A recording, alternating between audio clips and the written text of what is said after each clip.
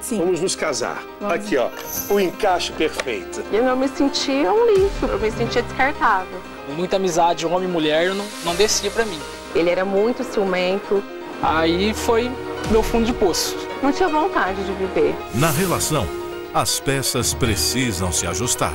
No relacionamento não tem encaixe perfeito como peças de Lego. A escola do amor